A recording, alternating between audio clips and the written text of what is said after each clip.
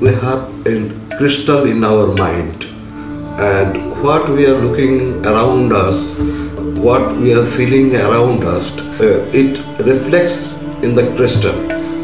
From that crystal, we are conceived uh, and we are depicting our work.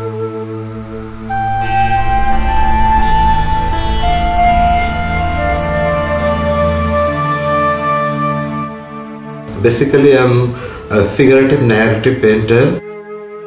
When I came here in Hampi, I thought I will do something with Indian philosophy. So I concept the subject as there is two pillar in Indian philosophy. One is meditation and another is drishti, the observation. Between these two pillar, the concept is growing and actually I depict uh, this thing in my painting.